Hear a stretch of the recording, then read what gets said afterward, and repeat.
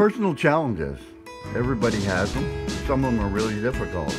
You end up, you have your own, but when you learn about somebody else's personal challenges, you think, man, I'm going to work really hard at mine trying to overcome them. Some people's personal challenges are physical or emotional or uh, work related or, uh, you know, maybe it's the Olympics. You want to get into the Olympics.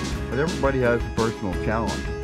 And uh, when you work at them and you nibble away at them, you really do have a chance at overcoming a lot of personal challenges. However, not every uh, personal challenge is uh, easy.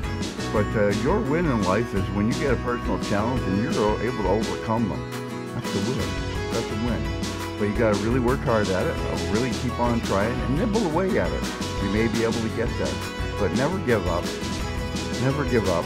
Always work towards it. You can win. It just takes a little bit of effort or a lot of effort.